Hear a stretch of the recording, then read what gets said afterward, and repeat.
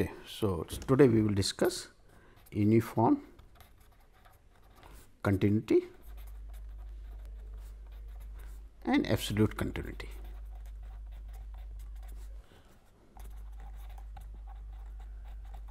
Continuity. Okay. So, let us see the first uniform.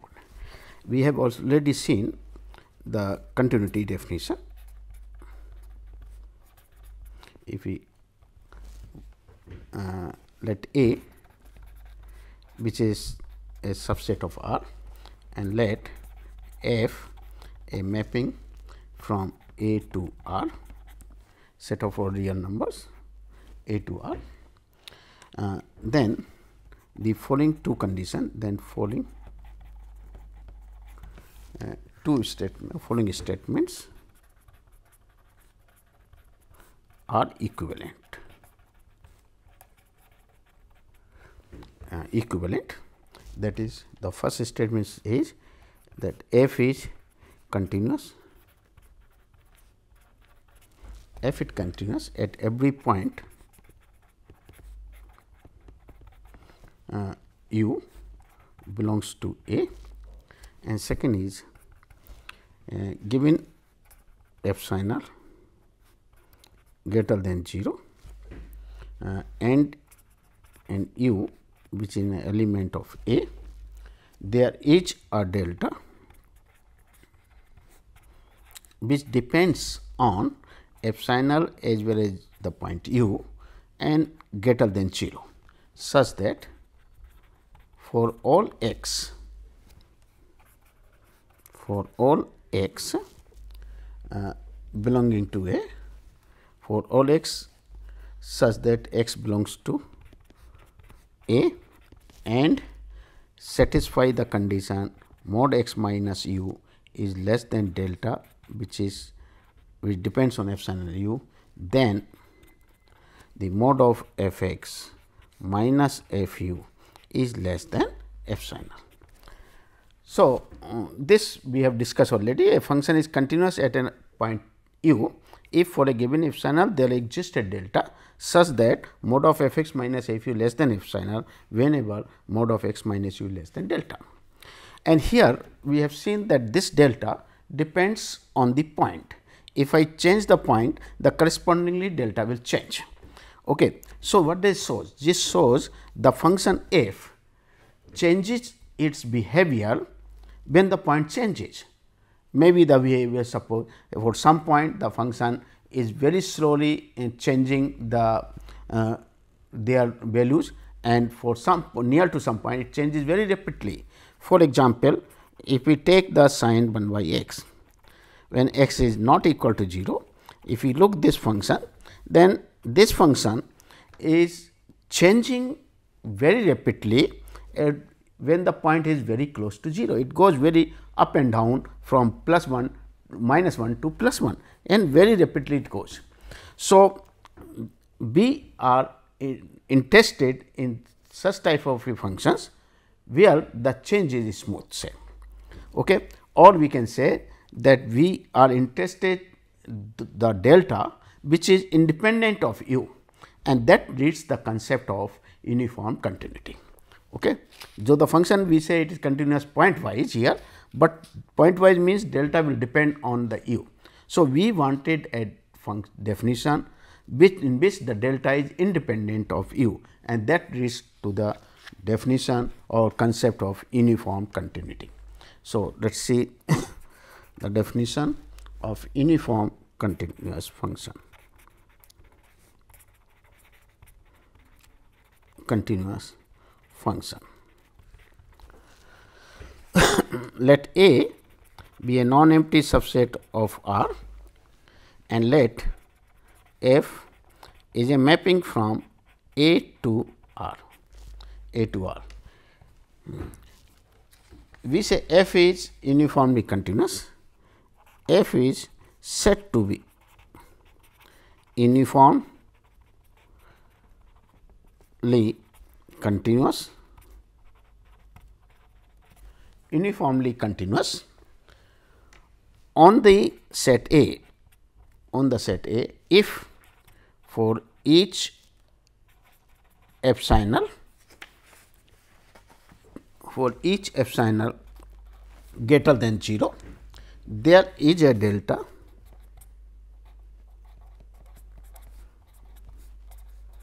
which depends only on epsilon a positive delta which depends only on epsilon and independent of the point u of A such that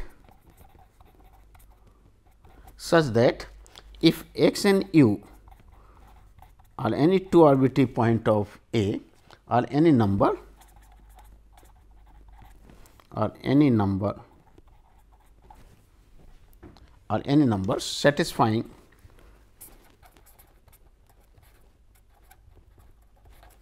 satisfying the condition mod of x minus u is less than delta depends on epsilon only then mod of f x minus f u is less than epsilon.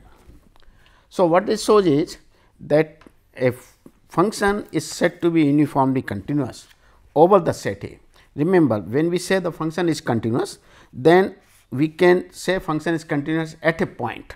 So, at a point we can identify a delta which depends, but when we say the function is uniformly continuous then saying uniform continuous at a point is a meaningless. It will be continuous over a set. So, a function is said to be uniform continuous over the set A. We mean that if for any epsilon greater than 0, if we are able to get a delta which is independent of the points of the set A such that if whenever we pick up any two arbitrary point set in the delta neighborhood of this, then corresponding fluctuation f x minus f u will remain less than epsilon the value of this. For example, if we take the function f x equal to say 2 x okay, and this f x equal to 2 x for all x belongs to say real number r. Okay. Now, if I consider mod f x minus f u where the u and b are the point let x and u these are the points in R okay, and satisfy that condition. Uh, so, consider this this is equal to 2 x minus 2 u which is equal to 2 times x minus u. So, if we take if we choose if we choose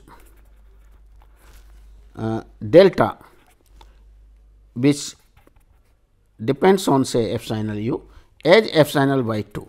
So, obviously, this delta is independent of u because this is basically we are taking delta to be epsilon by 2 whatever the u may be. So, it is independent of this. So, if I take delta this then obviously, this part mm, for all epsilon greater than 0 then this condition holds less than epsilon r for all x and u belongs to R such that mod of this x minus u less than delta. Is it okay? And this is independent of delta is independent of the u and positive quantity. So, this function will be considered f x equal to 2 a we can say it is uniformly continuous over the entire real line over the entire line. Okay. However, there are all the functions which are only continuous, but not uniformly. For example, if we take the function uh, there, so f x equal to 2 x is uniformly continuous over any set A which is subset of R over any subset of R okay, or in entirely. now, take a function g x say 1 by x for x belonging to the set A which is the set of those points of real number such that x is positive. Okay. Now, we claim that this uh, function g is continuous but not uniformly over A, not uniform, continuous at each point, continuous at each point of A, but not uniformly. Let us see how. Uh, let us consider g x minus g a g u g x minus u this is equal to what 1 by x minus 1 by u which is the same as u minus x over u x. Okay. Uh, now, if u belongs to this, if u belongs to A suppose, okay, u belongs to A is given, there we wanted to test the continuity is given. So, if we take delta which depends on u as the infimum of u by 2 and u square epsilon by 2. Uh, so, let epsilon greater than 0 be given. Here we let us write let epsilon greater than 0 be given and let us pick up the point u at which the continuity is tested. So, now choose the delta is this.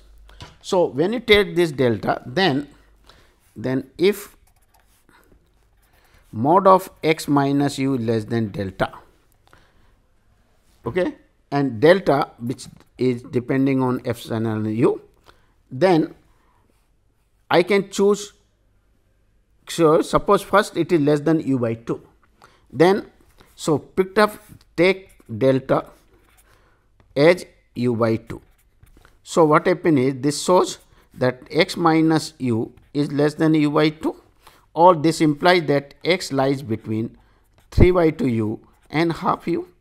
Because x minus u is less than u by 2. So, it becomes less than 3 by 2 and then u minus x is uh, that is x minus u is u minus u by 2 x greater than this. So, this is greater than. So, it lies bound with this. Therefore, the bound for this therefore, 1 by x can be x is greater than u by 2. So, 1 by x will be greater than get uh, sorry uh, x is less than. So, 1 by x. So, 1 by x uh, is less than because it will be uh, x is greater than this. So, 1 by x will remain less than 2 by u from here. Once it is 2 by u then the condition in the condition which we have taken as g x minus g u. In this case, what we get mod of this? This is less than equal to uh, u minus x mod over u x. So, u into x, x means 1 by x. So, it is 2 into y u. So, it becomes the 2 by u square into u minus x. Now, further choose delta to be this thing u square epsilon by 2. Okay. So, once I am taking delta to be this another one I am taking this. So, what we get is from here this shows that this part mod of g x minus g u is less than equal to delta means mod of u minus x is less than delta. So, this is less than 2 by u square into u square by 2 epsilon that is epsilon. Okay. So, this holds that if x minus u is less than delta for all such x then g o u x minus g u will be less than epsilon and this is true. So, this shows that g is continuous at u belongs to A clear. But here the delta which you are choosing is coming which depends on u, it depends on u, is positive quantity. Okay. But what happens to this? Uh, uh, sorry, this is not, this is uh, each individual delta is positive when u is taking to be there. But when you take the infimum value of this, when you take the delta as the infimum of all such, then what happens to that? Infimum of delta here delta depends on epsilon u. So, G is pointwise continuous. Pointwise continuous, but what is the infimum of all such deltas? Delta infimum of all such delta which depend on epsilon u and u is greater than 0. The infimum of value of this is coming to be 0. Why? Because each delta, each delta here is nothing but either u by 2 or u square by 2. So, u is greater than 0. So, each delta is greater than 0, but when you take the infimum value of this delta eh, over u, then this infimum will come out to be 0. So, we are not getting a delta which is greater than 0. So, for a given epsilon r greater than 0, we cannot get delta cannot get delta which depends only on epsilon r depends only on epsilon and greater than 0 such that condition mod of g x minus g u is less than epsilon r provided mod of x minus u less than delta hold. This we cannot get. Therefore, G is not uniformly continuous. Continuous. Okay. So, we have seen the example where the function is continuous uh, pointwise and the function is uniformly continuous. Now, to show the uniform continuity, we require the delta where independent of the point over the entire set. So, that is not that uh, easy. So, what we, we can develop the test which will give the at least sufficient criteria when the function is not uniformly continuous. So, we will just uh, state those results without proof the criteria for the non uniform continuity. So, and the non uniform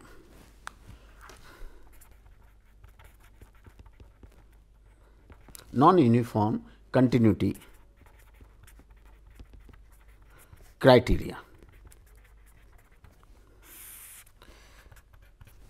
This will be needed. So, proof we are just dropping, but it is can be easily done with the help previous knowledge. So, let A be a non-empty subset of R and let F is a mapping from A to R then the following following statements are equivalent are equivalent. The first statement says f is not uniformly continuous.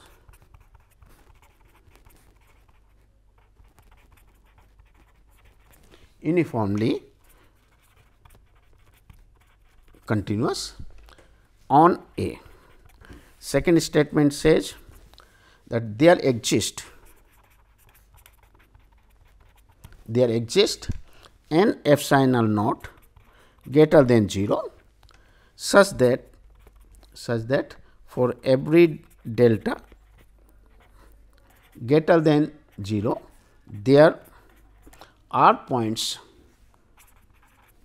there are points say x depends on u uh, u uh, x depends on say delta not x depend on delta and then uh, u depend on delta.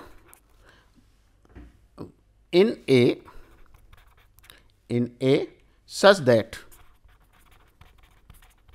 such that the mode of x delta minus u delta less than delta and mode of f x delta minus f u delta is greater than or equal to epsilon not. And third statement says there exist an there exist n epsilon not greater than 0 such that and the two sequences and two uh, sequences uh, say x n and u n in A in A such that such that limit of x n minus u n over n is 0 and mod of f of x n minus f of u n is greater than equal to epsilon naught for all n n belongs to capital N. Let us see let us see this what is. So, uniform continuity criteria says if suppose function is not uniform then by the definition of not uniform means a function is said to be uniform continuous if at over the set A if for each epsilon there exists a delta which depends only on epsilon not on the delta such that the difference of f x minus f u is can be made less than epsilon provided the point are in the delta neighborhood. So, if the function is not uniformly continuous it means this condition will be violated. If we choose the point in the neighborhood of delta, the images of this, the fluctuation may not be less than epsilon, it can exceed to any number, arbitrary number epsilon naught. So, that is why what he says is that if f is not uniformly continuous, then there exists an epsilon naught such that whenever the point uh, x and u are in the delta neighborhood, the corresponding images exceed the that bond epsilon naught greater than. Similarly, this is in a Cauchy definition, this is Heine's definition. Instead of choosing the two arbitrary point, if we picked up the two sequence x n by n, which are tending to 0, the limiting both are uh, difference of this is tending to 0 means x n and u n are very close to each other as n is sufficiently large, then but the corresponding image is not close it greater than equal to some positive number if sign epsilon not Then we say the function f is not uniformly continuous. Okay? We got this. Now, this criteria can be applied very directly. Suppose I applied this function to show g x which is 1 by x is not uniformly continuous is not uniformly continuous on the set A where x is greater than 0 set of all real number n. So, what we do is we have to pick up the two arbitrary sequence. So, let x n I choose the 1 by n and u n I take to be 1 over n plus 1 both are in A and the difference of these two sequences obviously x n minus u n this goes to 0 as n tends to infinity. But what is our g of x n minus g of u n? This mode is nothing but what? g of x n is nothing but n plus 1 minus n that is 1 which does not go to 0. In fact, it is greater than equal to any number epsilon naught. Therefore, g is not uniformly continuous. So, g is not uniformly continuous. That is what. Now, uniform continuity trans, uh, when it is function is defined over a closed interval and if function is continuous then it will be uniform So, this result is known as the uniform uniform continuity theorem continuity theorem. The theorem says let I be a closed bounded interval.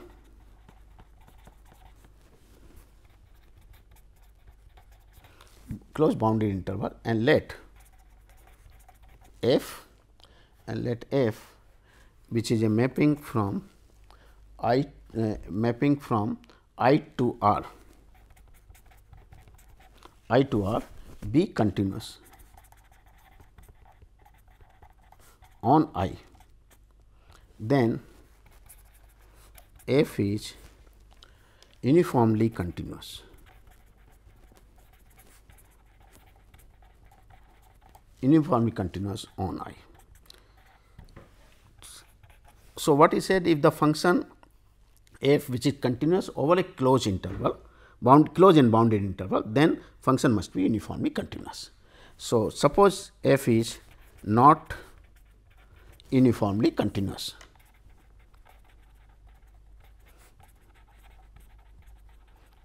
On i. So, I can use one of the criteria which I listed earlier I will take the in the form of the sequence okay, by now.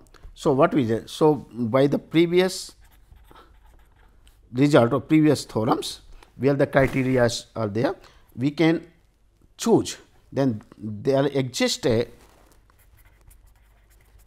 epsilon naught greater than 0 and two sequences x n and u n's in I such that the difference between these two that is limit of this is going to 0 means difference is very very small say 1 by n and but the mode of f x n minus f u n this difference exceed by this epsilon naught for all n. So, this is by the criteria when non uniformly continuous criteria from here we are getting this one. Okay. Now, since our since i is bounded and the sequence x n x n and n's and n's both are the sequences belonging to belong to i.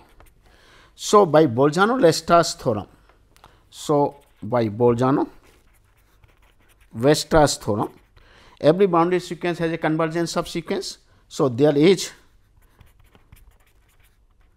there is convergent subsequences um, there is convergent subsequences say x n k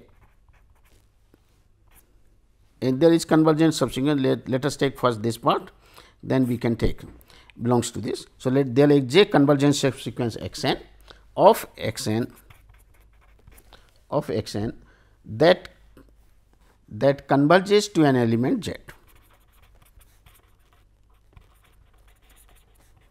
to an element say z belongs to i z that converges to z.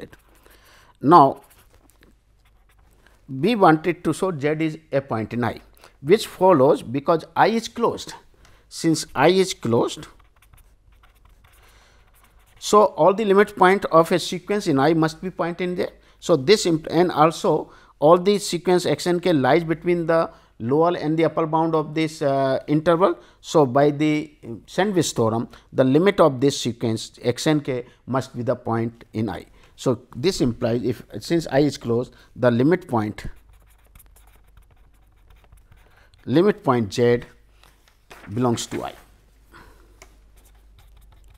Okay. Similarly, similarly we can say we similarly we can also show we claim we also claim that the sequence u n will have a subsequence u n k in I whose limit point belongs to I. Limit point limit point belongs to I, but the limit point of u n k and x n k will be the same, but limit point of u n k and the limit point of z uh, say uh, x n k will be the same. The reason is because because if I consider the u n k minus z then this can be written as the u n k minus x n k plus x n k minus z. Now, this term is less than equal to k by condition which we are choosing because both are in A and we are choosing the interval neighborhood is such a way so that this is less than equal to k. And this converges to z. This is the limit point of this. So it goes to 0 so s tends to total tends to 0 therefore both will have the same limit point. Once they are having the same limit point therefore f so f is so z belongs so f is continuous. Now further since f is continuous. At z.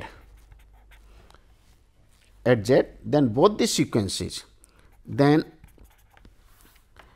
f of x can x n k and f of u n k must converge to f z.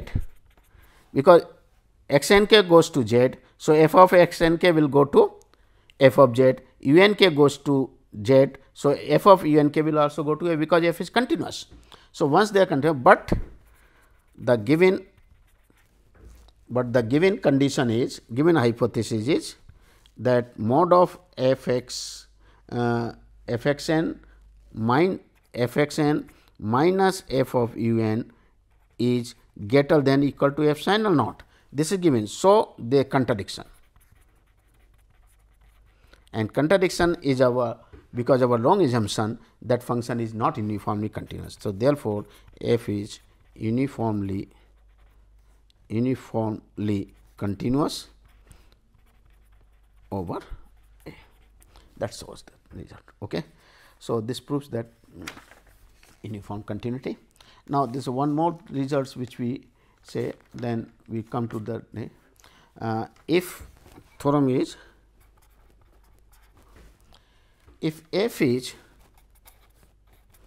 a mapping from A to R is uniformly continuous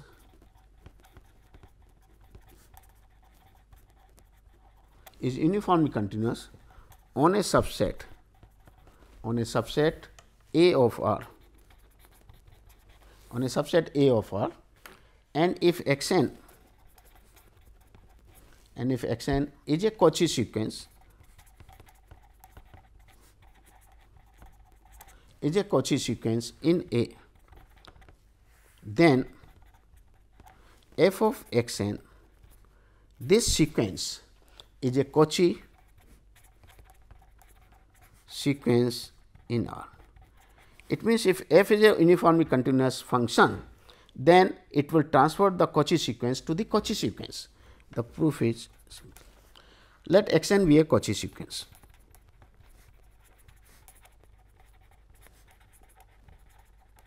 Cauchy sequence in A. Okay. We wanted to and f is given to be and f is given to be uniform continuous continuous over A.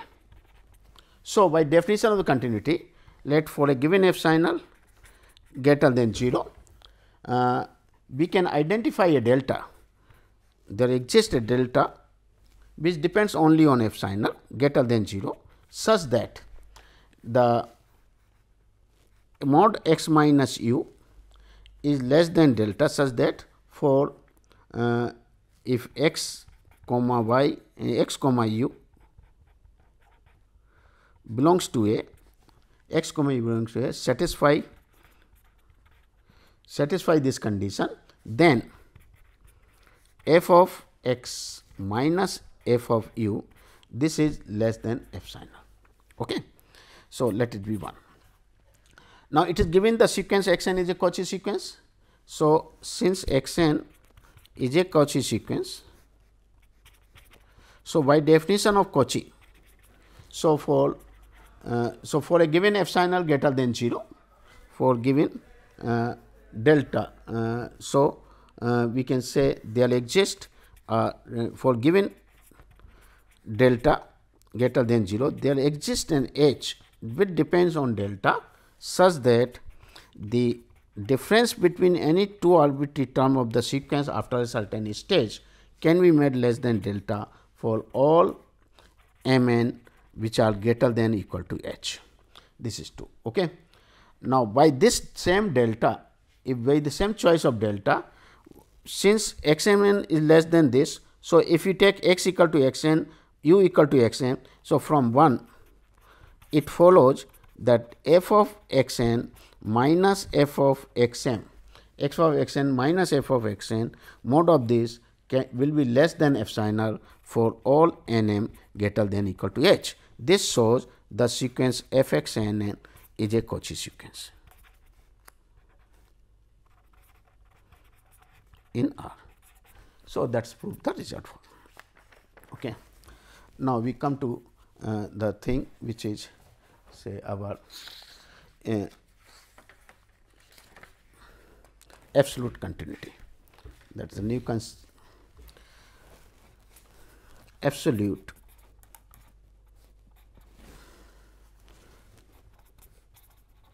continuity.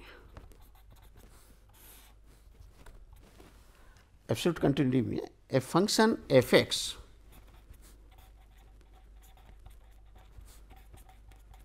a function f x is said to be is said to be absolutely absolutely continuous.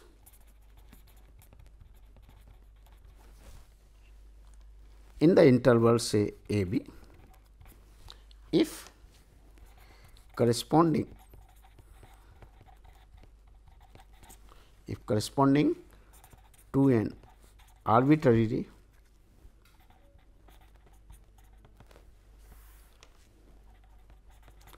arbitrarily chosen positive arbitrarily chosen positive number epsilon another positive number